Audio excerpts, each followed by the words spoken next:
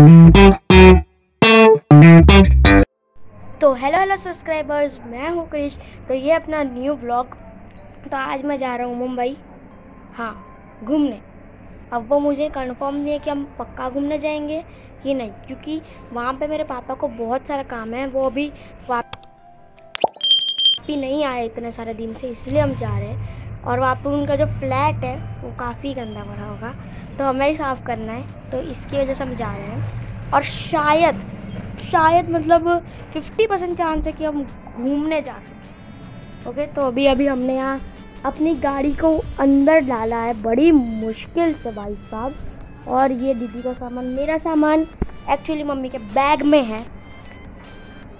ये जो red colour की ये वाली बैग है ना, ये एक्चुअली मेरी है। जो कि मैं एक बार कपड़े लेने गया था तो मुझे फ्री में मिली थी, मेरे कपड़े लेने गया था। तो मुझे डिस्काउंट कूपन पता नहीं फ्री में मिली। इसीलिए दीदी ने ले ली, इसलिए मैं अपने कपड़े मम्मी के बनाता हूँ। तो अब मिलता हूँ आपको कैब में। हाँ कैब में जा रहे क्योंकि पापा आ नहीं सकते लेने, इसलिए कैब में जा रहे तो गाइस कैब आ चुकी है। हाँ तो गाइस कैब आ चुकी है। अभी थोड़ी देर में निकलते हैं। गाइस गाइस पहुँच गए। पहुँच गए पहुँच गए। मेरे पापा भी आ गए, इनकी बैग है तो मैं व्यू दिखाता हूँ, दिखे तो।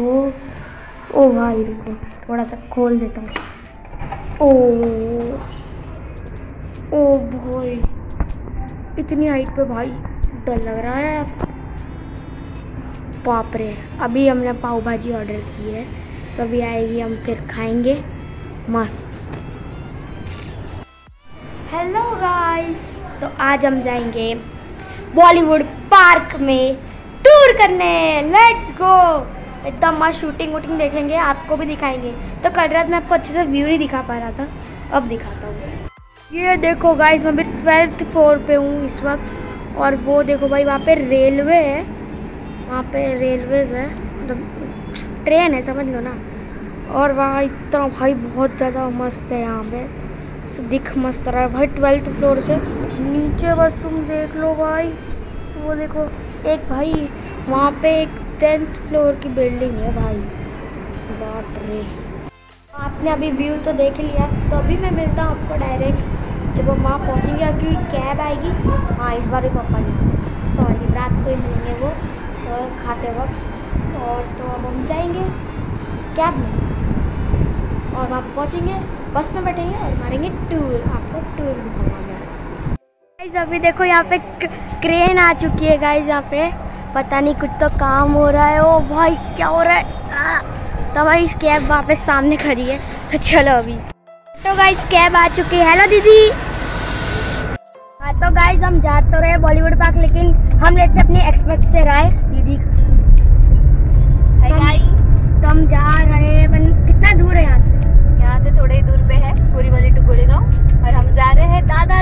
साहेब फाल्के चित्र नगरी यू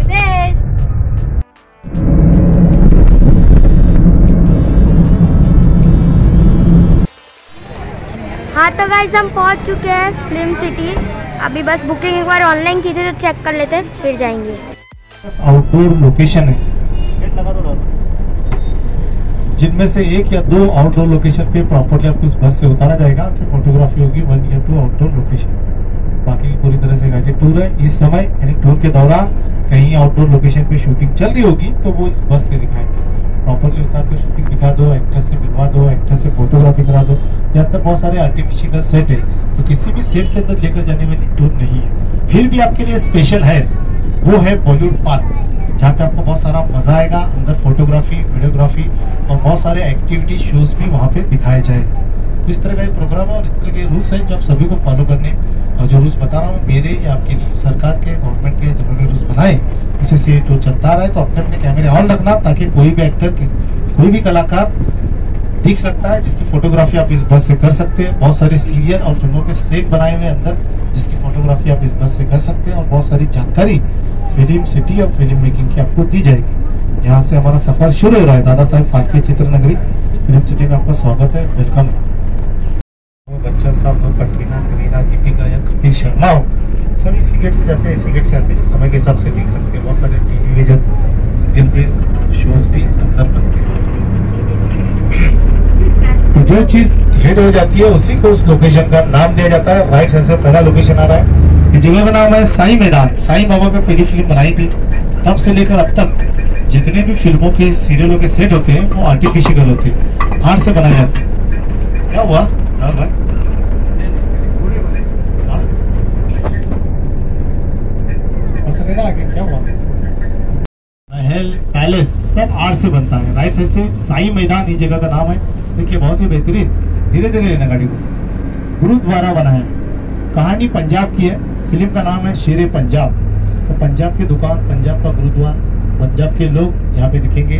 हाँ शूट नहीं है, अभी सेट बनेगा, उसके बाद शूट यहाँ पे दी जाएगी। इसके बाजू में आ रहा है वेलकम मैदान।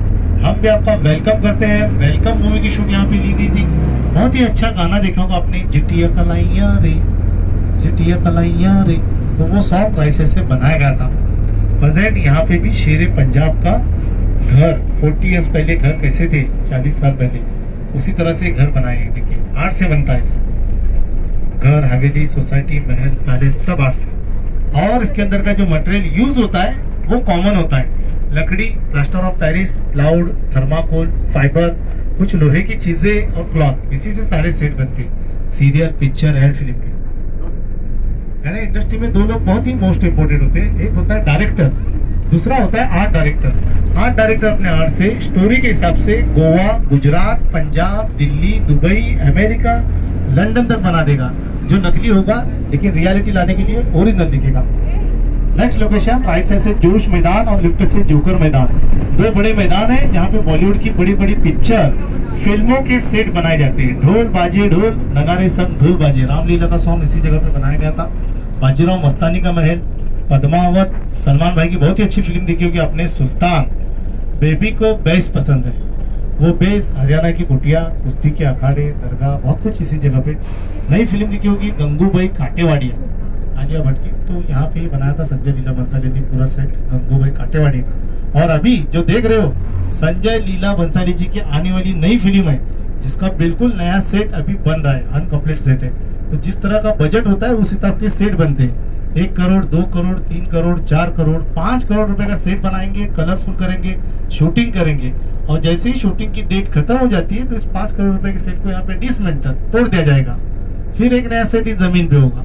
तो ये जो सारी ज़मीन है, वो सरकार की है गवर्नमेंट की है जिसके अलग अलग लोकेशनों का अलग अलग रेंट होता है। जो अंदर फ़िल्म सिटी गवर्नमेंट ऑफ़िस है, वो लेगा।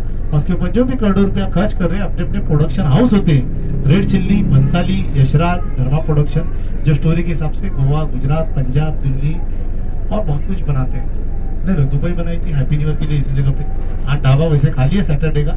ये रिश्ता क्या कहलाता है? स्टार प्लस सीरियल है। धारा कार्तिक वाला ढाबा दिखाएँगे लेफ़्ट साइड जोकर मैदान है। अम्मी जान कहती है, सबसे बड़ा धंधा धंधे से बड़ा कुछ नहीं होता है। यानी रईस फ़िल्म देखी होगी आपने, इसके लिए गुजरात का जो है, मोहल्ला दिखाया था इसी जगह पे। और अभी आपके सामने प्रेजेंटेशन टूर का उद्देश्य है। देखिए प्रेजेंट में जो है, बहुत कुछ बना रहे हैं। थोड़ा सा आगे रुका देना। किस तरह का सेट है, जिस तरह की स्टोरी है, उस हिसाब की सारी चीज़ें बनेगी। जब ये पूरा बन जाएगा आपको पता भी नहीं चलेगा कि भाई वो क्या रियलिटी लेकर आ रहा है। गणपत, आने वाली नई फ़िल्म है, यशराज चोपड़ा की। उसके लिए काम चल रहा है। इस समय। फजे तो राइट से भी अगर आप थोड़ा सा ध्यान दें कि बंसाली साहब का काफ़ी सारा बड़ा सेट है। जुम्मे की रात है, जुम्मे की बात है। बहुत ही अच्छा सॉन्ग देखा होगा राइट और लेफ़्ट से, इसी जगह पे बनाया गया। राइट और लेफ़्ट से दो बड़े मैदान है, जहाँ पे बॉलीवुड की बड़ी बड़ी पिक्चर फ़िल्मों में सेट बनते हैं। वक्त के हिसाब से मगर उसे इस मिनट तक तोड़ दिया जाता है। तो आगे जंगल, पहाड़ी वाले रास्ते बच्चों को मजबूती से पकड़ कर बताइए। फ़िल्म सिटी जो है, बहुत ही नेचुरली जगह है। नेचर से भरी हुई है।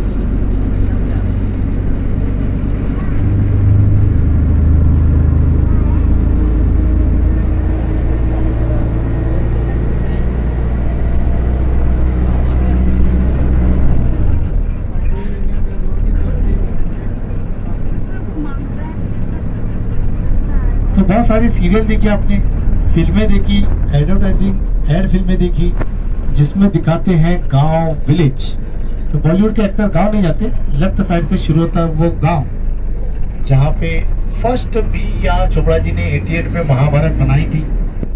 महाभारत, तब से लेकर अब तक जब भी गाँव विलेज दिखाया जाता है गाय भैंस, बकरी, खेत, चारा ट्रैक्टर गाँव का कुआ तो वो गाँव आपके लेफ़्ट साइड से शुरू हो रहा है इस गाँव का नाम है आबोत्सर गाँव यहाँ से शुरू होगा आगे गाँव का एड हो जाएगा तो बहुत सारे सीरियल फ़िल्म सिटी में बनाए जाते हैं कुछ सीरियलों के गाइस अभी आप मंदिर में आ चुके हैं शूटिंग का मंदिर है। दीदी आज कहा? ये कौन सा शूट है? यहाँ पे है गुड़ से खट्टा इमली से मीठा। तो यहाँ पे ये है।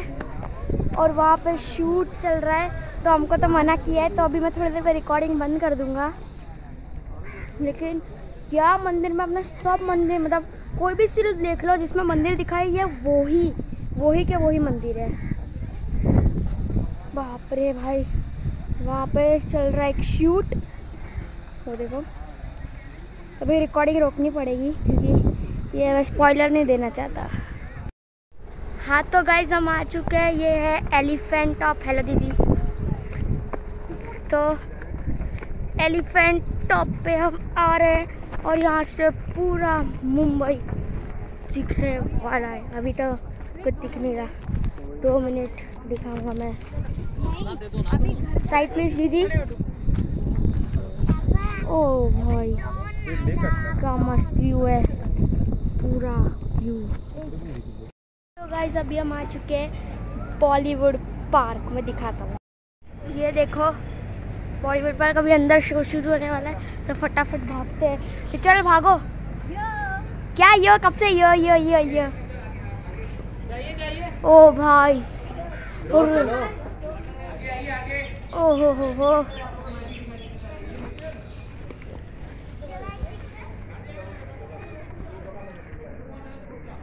ओ भाई। मस्त है यार। बस अबे वाह स्मोकिंग मिट पैट होता मारता। ओ भाई।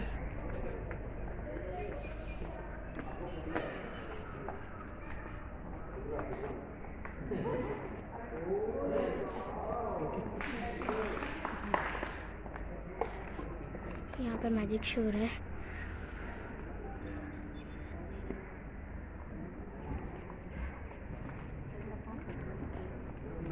रहा है ब्लैक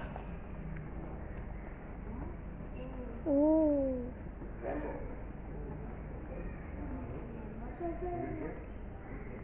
एक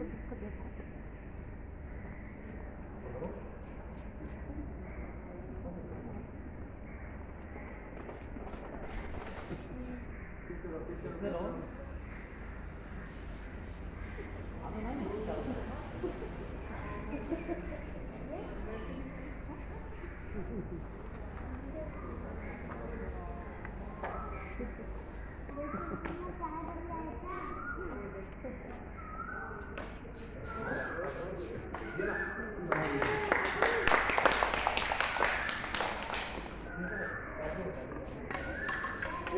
कोई भी मोबाइल दीजिए मुझे कोई बहुत अच्छा ट्रिक है कोई भी कैमरा ऑन करके दीजिए। फ्रंट कैमरा फुल लाइट करके दीजिए।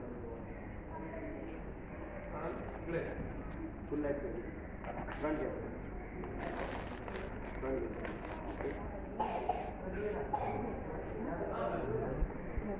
कैमरा गौर से देखिए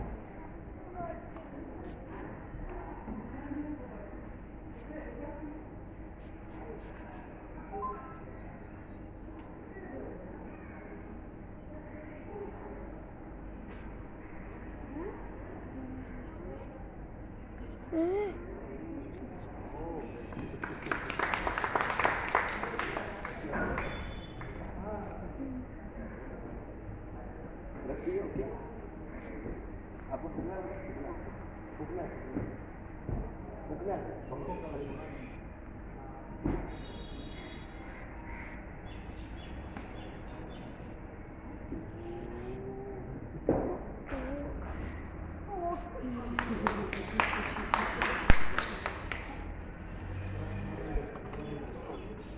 प्लीज़ इसमें सेल्फी ले लेते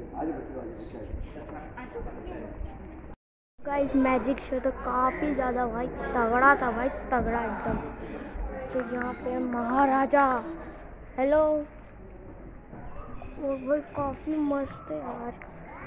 मस्त ब्रो ये पिके जैसा लुक है थोड़ा थोड़ा इस अंकल का। चलो कोई नहीं। ओ भाई, मस्त है यार। तारक में तो सबकी शूटिंग देखी। मैं रिकॉर्ड नहीं कर पाया यार। पता नहीं, मैंने रिकॉर्ड तो किया है, पर वो हो गया। खराब मतलब वो हो गया। डिस हो गया वो। क्या कहते हैं उसको? डिस्कार्ड हो गया कुछ मुझसे डिलीट हो गई वो फाइल्स कोई नहीं, इतना मैं शूट कर रहा हूँ। इतना देखिए।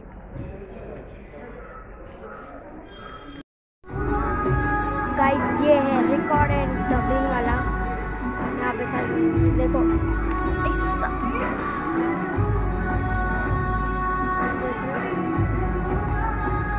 मस्त है ना?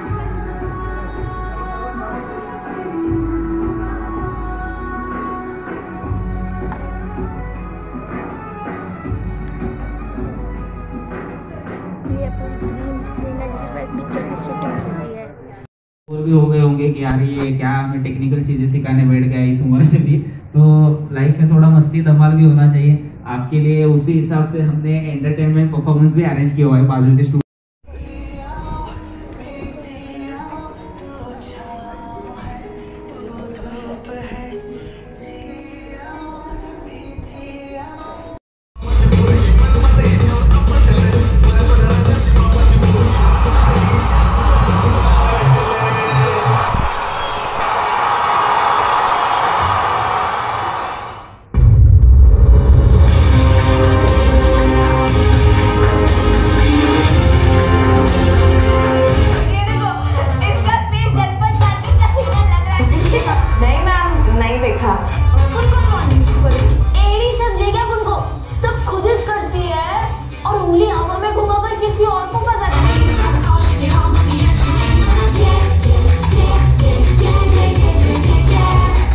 Girls like to swing.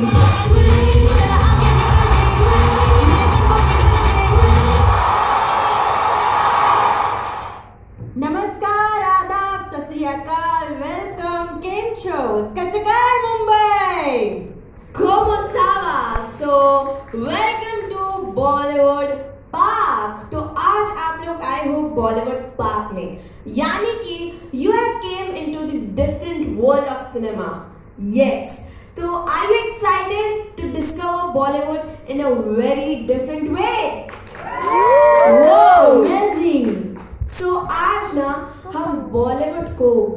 He different तरीके से डिस्कवर करने वाले हैं। Yes yes. दोस्तों आप लोग को पता है आप ऐसी जगह पे आए हो जहाँ पे बनती है मूवीज़ फ़िल्में cinemas right serials web series और बहुत कुछ। और अब आज हो ऐसे कलाकारों के बीच में जहाँ पे हमारे लेजेंड्स हमारे स्टार्स दिन रात मेहनत करते हैं एक मूवी सीरियल्स बनाने के लिए। और तब जाके आप लोग उन्हें देखते हो पर्दों पे।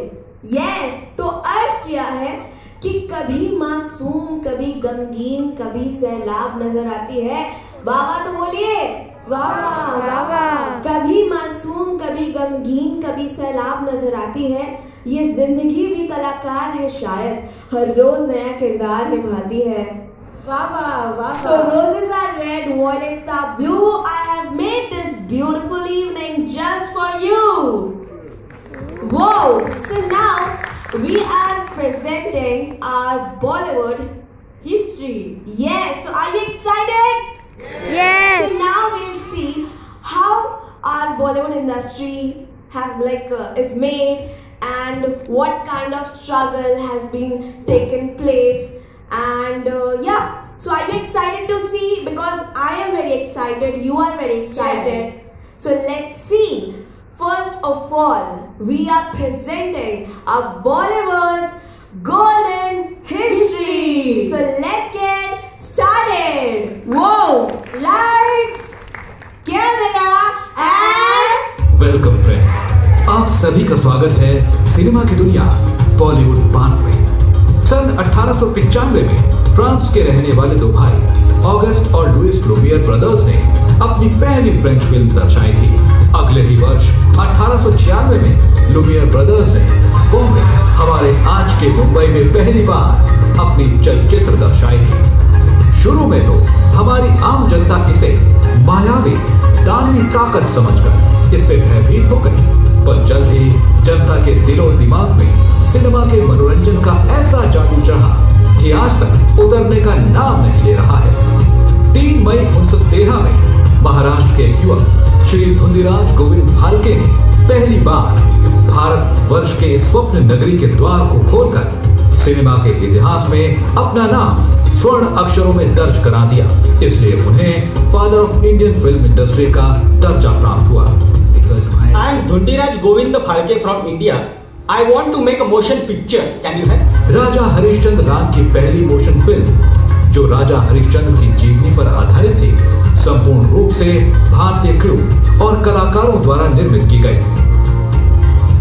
सिनेमा में काम करना उस दौर में अशोभनीय माना जाता था। सभ्य परिवार तो छोड़िए, नगर वधुओं तक ने फ़िल्मों में अभिनेत्री बनने से इनकार कर दिया।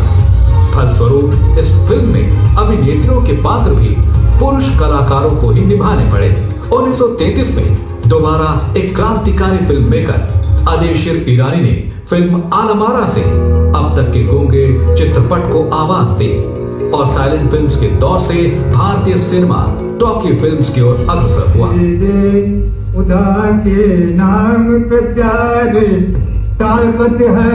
आलमारा फ़िल्म की नायिका जुबेदा लोगों के दिलों की मल्लिका बन गई। जुबेदा की माँ फातिमा बेगम को भारतवर्ष की पहली वुमेन फ़िल्म मेकर का खिताब हासिल हुआ। फातिमा बेगम, एक निपुण अभिनेत्री, निर्माता और निर्देशक थी सिनेमा बकायदा उद्योग का रूप लेने लगा और कई फ़िल्म कंपनियों की स्थापना हुई। जैसे Bombay talkie Prabhat studios Minerva movietone Ranjit studios पहली कलर फ़िल्म किसान कन्या, सन 1937 में बनाए गए और इस लैंडमार्क का श्रेय भी द ग्रेट श्री अदेशिर ईरानी को ही जाता है। साउंड टेक्नोलॉजी से गीत संगीत के प्रचलन ने ज़ोर पकड़ा। स्वरों की देवी लता मंगेशकर जी ने भी अपनी शुरुआत बतौर अभिनेत्री की थी और देखते ही देखते इस महान गायिका को नाइटिंगेल ऑफ़ इंडिया का खिताब प्राप्त हुआ। साल 1940 से 1960 को बॉलीवुड सिनेमा का गोल्डन एज कहा जाता है। 1960 से 1980 के दौरान इन कलाकारों ने अपनी फ़िल्म से दर्शकों का खूब मनोरंजन किया। फिर एक ऐसा सितारा आया जिसे पहले सुपरस्टार का खिताब हासिल हुआ राजेश खन्ना। मेरे सपनों की रानी कब आएगी तू? आए जो सफलता राजेश खन्ना को मिली न भूतो न भविष्य किसी कलाकार को नहीं मिली। और मुझे ज़िंदगी बड़ी होनी चाहिए लंबी नहीं। फिर एक ऐसा नायक आया जो अपने जानदार अभिनय और एंग्री यंग मैन की इमेज से सदी का महानायक बॉलीवुड का शहनशाह कहलाया गया। दाम को पकड़ना मुश्किल नहीं हास्य कलाकारों का अपना विशेष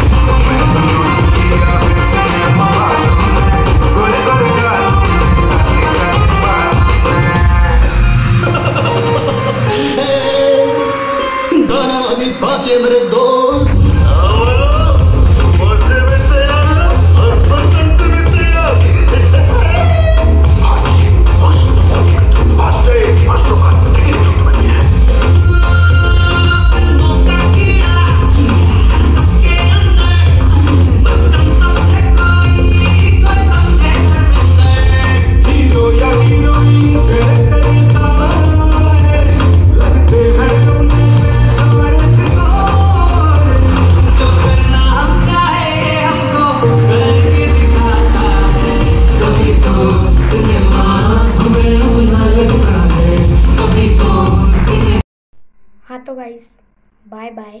तो आज के ब्लॉग के लिए इतना ही। मैं आप वापस आ गया, दो दिन हो गए, अभी आफ्टर कर रहा हूँ। तो tata, bye bye next blog अगर आप वक्त देखोगे तो मैं भी खुश होऊँगा। और एक काला हो गया, पता नहीं क्यों। Bye bye.